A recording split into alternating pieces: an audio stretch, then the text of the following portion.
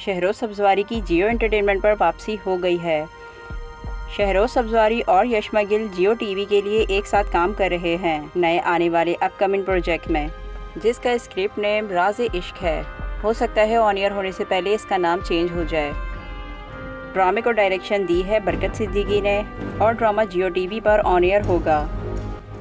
शहरोज़ का यशमा गिल के साथ ये पहला प्रोजेक्ट होगा। शहरोज़ सब्जारी यशमा गिल के साथ अदाकारी करेंगे। ड्रामे की प्रोडक्शन भी बरकत सिद्दीकी कर रहे हैं। बरकत सिद्दीकी वो डायरेक्टर हैं जो बेहतरीन प्रोजेक्ट्स के लिए मशहूर हैं, जिसमें मोहब्बत, तुझे अलविदा, करार और बेबसी ड्रामे जैसे शामिल हैं। यशमा गिल को अक्सर हमने ड्रामों में नेगेटिव किरदार में ही देखा है। इस ड्रामे में अभी तक कोई और लीड रोल में होगा या नहीं, इसकी इतलात आनी बाकी हैं। ड्रामा कब ऑन एयर होगा, इसकी अनाउंसमेंट अभी नहीं हुई है। मगर हमारी इंफॉर्मेशन के मुताबिक जियो प्रोडक्शन पर काम बहुत तेज़ी से किया जाता है।